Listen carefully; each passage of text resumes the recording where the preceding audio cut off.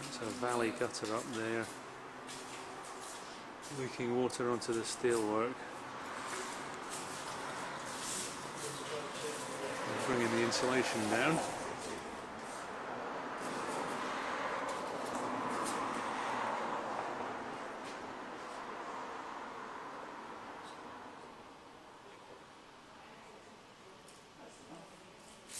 That's either